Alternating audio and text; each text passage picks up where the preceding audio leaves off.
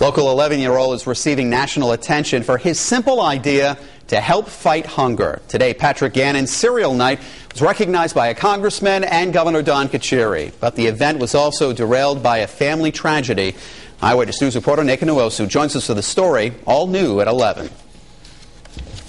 11 year old Patrick Gannon of North Kingstown saw how the recession was affecting Rhode Islanders. So, despite hard times in his own family, he brought his community together to help others.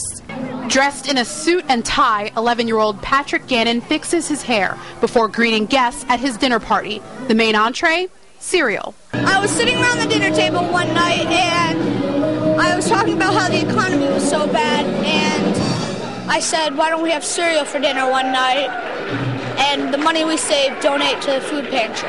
From that idea, Cereal Night was born, and last year Patrick collected three tons of food for the needy. Then it got big, and then I met the Cardi brothers. Now you're famous. I know I'm famous. Patrick's mother, Jackie, wanted to make Cereal Night a national event, but on November 7th, she died suddenly from an aneurysm, two days before Patrick's 11th birthday. It's definitely devastating. We just try as a family to stick together to get through the times.